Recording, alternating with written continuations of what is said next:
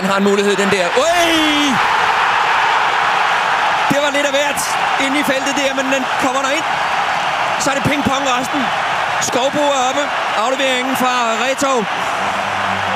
Ja, det er et af de få gode indlæg, vi har set i hele kampen. Og den ligger, som den nede i Moskva også lå, hvor der er plads til, at man kan komme ind og virkelig angribe den. Han løber på tværs af forsvarsspilleren og får den snittet videre. Det er et spørgsmål, det ikke er et selvmål i den sidste Det tror jeg faktisk. Men det er det vigtigste. Vi igen. den Reto. ligger i nettet. Skovbo op. Og der rammer den lige... Øh... Jeg kan ikke engang se, hvem af dem det er. Vi ser den fra den her vinkel bedre, gør vi ikke det? Ja.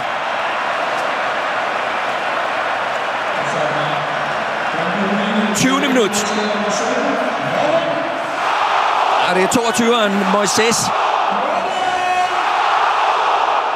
Og vi må nok kalde det for et selvmål. Men pyt, på tavlen står der 1-1.